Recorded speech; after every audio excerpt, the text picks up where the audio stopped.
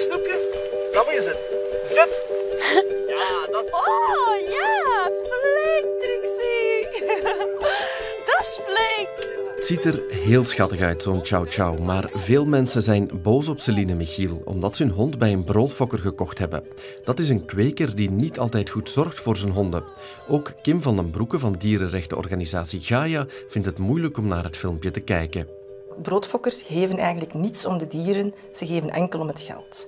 De puppies worden te snel bij de mama weggehaald, waardoor de dieren vaak niet weten hoe ze zich als hond moeten gedragen. Ze zijn niet opgegroeid in een huiselijke omgeving en ze kunnen schrik hebben van, van heel kleine geluiden of ook last hebben van agressie. Wij wisten totaal niet wat een broodfokker was, dus onze excuses daarvoor. Maar bij Gaia zeggen ze dat Celine Michiel heel makkelijk hadden kunnen weten dat ze een hond van een broodfokker kochten. Broodfokkers kweken heel veel dieren van verschillende rassen. Een goede kweker zal maximum twee verschillende hondenrassen kweken. Een broodfokker heeft altijd puppies te koop, een goede kweker niet. Die werkt met een wachtlijst. En heel vaak hebben honden van een broodfokker geen paspoort, die van een goede kweker wel.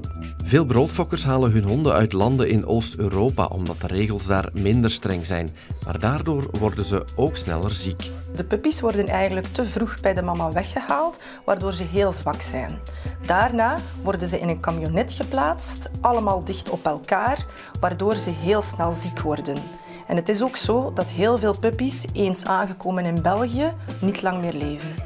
Als je een hond koopt bij een broodfokker, zorg je ervoor dat dit blijft gebeuren. Koop dus nooit een pup als er geen moeder bij is of via een zoekertjesite op het internet. Volgens Gaia waren Celine en Michiel beter naar een dierenasiel gegaan. Merci om te kijken naar Karawiet. Abonneer je zeker op ons kanaal. En als je meer video's wil zien, klik dan hier.